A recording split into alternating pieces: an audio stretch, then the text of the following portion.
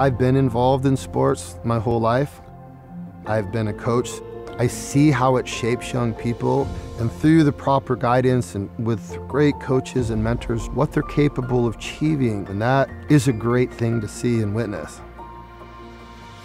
I was a kinesiology major at Oxy. I did football for four years and I did track for four years. Dale Widolff had just become the new head football coach. Our women's volleyball team was spectacular and basketball was good. It was just a really good time to be an athlete at Occidental.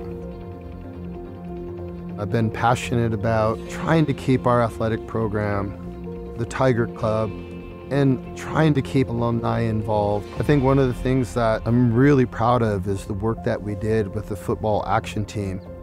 The football action team really came around after the cancellation of the 2017 football season. It's 125 years of history at the school was being threatened. And it's been something fundamental for so many young men's experience there on campus. And so for me to see that go away, I would feel like we would lose part of the heartbeat of Occidental.